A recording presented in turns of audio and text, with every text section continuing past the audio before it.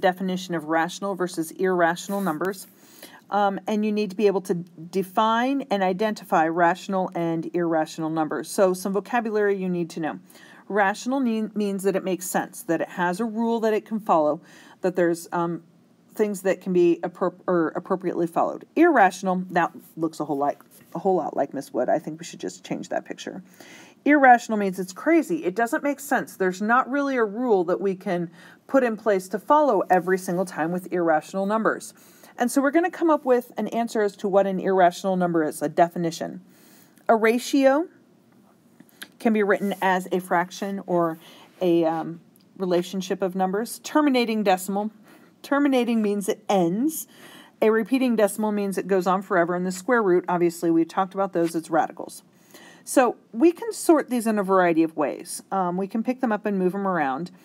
So we can sort them by fraction and whole number. We can sort them by putting radicals. We can sort them. Um, I don't see any negatives, so we can't really do positives and negatives, but we could do whole numbers and not whole numbers. So there's a variety of different ways. Well, one of the ways that we want to actually sort those is by doing them as rational numbers, and which ones are rational and which ones are not rational. So, rational numbers, because you see the root ratio in that word, can be written as a ratio, and a ratio is actually a simple fraction. It can simply be written as two whole numbers on top of it. And there are thousands upon thousands of examples of rational numbers, decimals, whole numbers, any fraction. It's fairly simple but it can be any terminating decimal. What does it mean that it terminates? It means that it ends. So we can see that it ends at 3. We can see that it ends at 7. We can see that it ends at 3. These are terminating decimals. Now, many times your calculators will not terminate, they will repeat, and your calculator will simply round. That is not a terminating decimal. If it's a repeating decimal, that's different.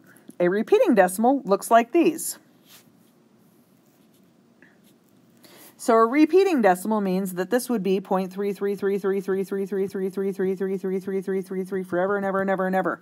This would be 4.6666666666666 forever and ever. Now this is the 1 and the 3 being repeated, so that's going to be 7.1313131313 forever and ever and ever and ever and ever and ever and ever. And your calculators very well may round for you. Irrational numbers cannot be written as a fraction. They will go on forever and ever and ever, and it depends upon really the length of your calculator screen as to how many decimals it will show you. Now, I have always said um, we have to use 3.14159.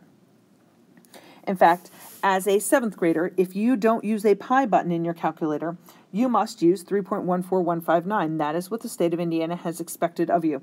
If you use 3.14, it is not precise enough. So you must use 3.14159.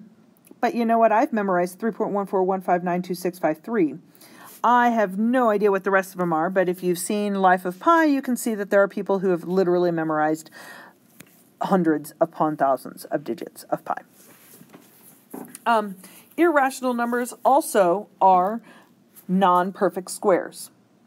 So we talked about radicals, non perfect squares.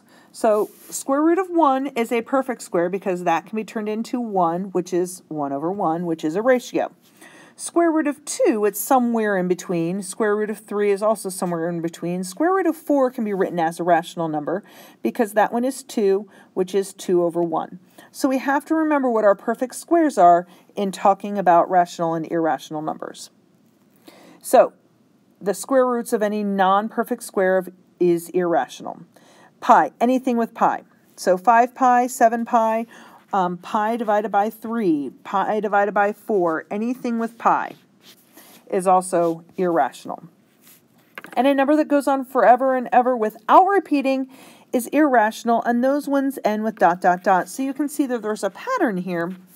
So it will not repeat. It'll go 1, 2, 3, 4, 5, 6, 7, 8, 9, 0, 1, 2, 3, 4, 5, 6, 7, 8, 9, 0, 1, 2, 3, 4. It's not repeating but it does go on forever. And this one, there's not a repeating, but it's going on forever.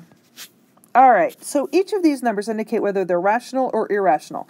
The first thing, the easiest way is to figure out irrational ones.